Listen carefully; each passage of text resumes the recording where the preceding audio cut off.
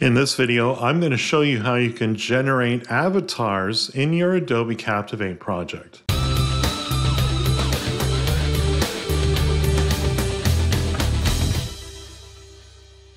I'm Paul Wilson, and I make videos about e-learning, specifically with the authoring tool Adobe Captivate. If you're enjoying what I'm doing here today, by all means like this video, subscribe to my channel, and share this video with all of your e-learning colleagues. Today I'm going to take you through the new feature of Adobe Captivate 13 that takes advantage of the latest in AI generative technology, specifically with AI avatars. It's really cool and a very remarkable feature and certainly can add a lot of engagement and make your e-learning courses a little bit more dynamic than they are today. Let's take a look. Okay, so let's go ahead and add a generated AI avatar to this project. And there's a couple of ways that you can do that. First of all, you can easily select generative AI and select generate avatar. Alternatively, you can go into your project properties and there you'll find the ability to enable an avatar on all slides. So let's go ahead and do that and select that option. You could customize your avatar at this point, but we're going to go ahead and just use the avatar that's here. So if I select this avatar and go to visual properties, I'll be able to set up again some of those customized appearances. I'm going to use a round appearance so that the avatar isn't just floating like a square decapitated box.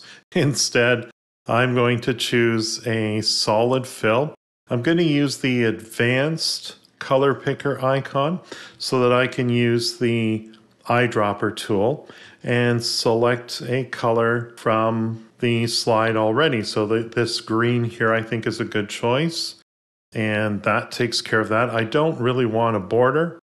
Don't really want an inner shadow, but we can go ahead and generate the avatar for this slide here.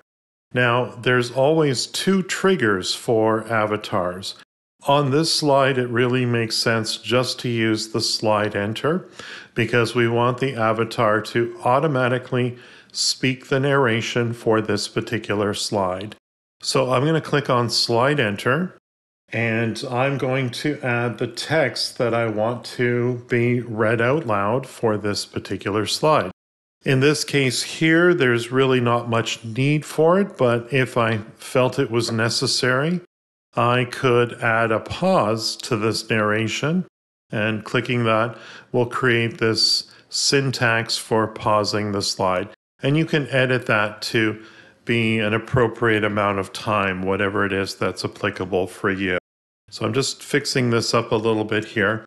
Once I'm happy with the narration, I'm going to click on next. And there's my transcript for this particular slide.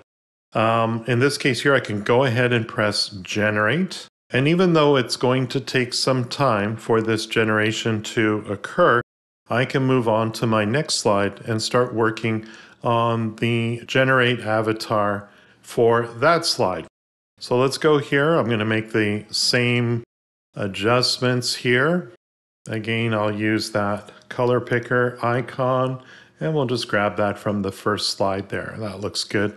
I've purposely put a spot for my avatar to exist, so I'm just going to put her in the upper right hand corner here.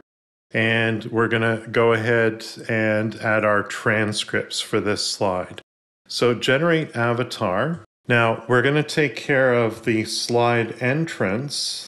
So when we arrive on the slide, we want to hear some narration and I can just populate that in. Again, if I needed to, I could add a pause, but I don't need to. I think in this case, I'm just going to click on next. But I can add additional transcripts for this slide to account for the click to reveal that this slide has as well. So we've got long working hours, technology, and stress as some of the reasons for work-life imbalance. So we can add a new transcript. Notice that slide enter is grayed out because we've already done that. but we can go ahead and press click tap.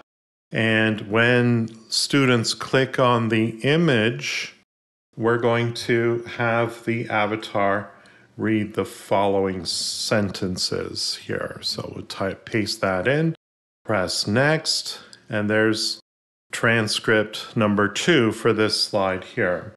We'll also do the same thing for the second click to reveal. So I'll click on plus add new transcript, click tap, and we will use image five in this case here. I'll paste in the narration for that, press next, and we have one more transcript to add. We'll click on add new transcript, click tap, and the image for our stress example here. And I'll just copy that text and paste it in here. Let's add a period at the end of stress so it just makes that a unique sentence. Press next, and now we're good to generate this content. And you'll see, you know, the progress indicators on this slide here. If I return to slide number one, we can see if this one is finished yet. And if we click on view narration, we can see that it's completed. I can do some fine tuning like placing the avatar, maybe enlarging the avatar. That looks pretty good there. Don't want it too large where it's going to impede on the text on screen.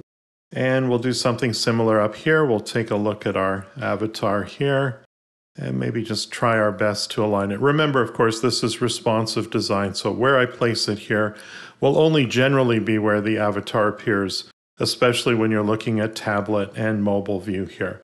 Let's take a look at the narration and see how it's doing. 39%, 59%, 70, 83. So again, you can continue to do other things in your project until this is finished. Okay, so it looks like all of my avatar videos have been generated. One of the things that you can do on this slide here is, of course, we can preview this and see how it sounds. Reasons for work life imbalance. It's important to note that the factors of work life imbalance can vary from person to person and depend on the specific circumstances. Select each image to learn more.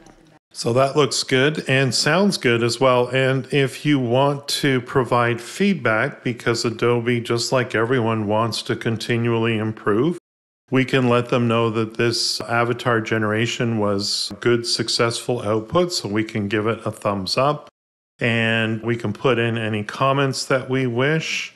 And we can say, you know, hey, this was aesthetically pleasing, the transcript accurately interpreted, and, you know, other. And of course, then I can say the voice matched the video really well or something like that.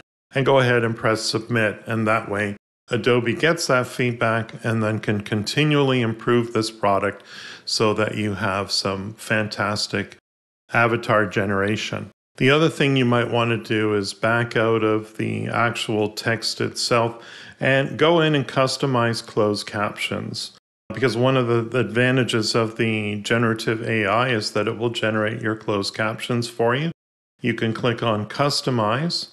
And from here, we can select the appropriate font that we wish to use for this particular slide and maybe even for the entire project. So I've changed the, the font to Lato.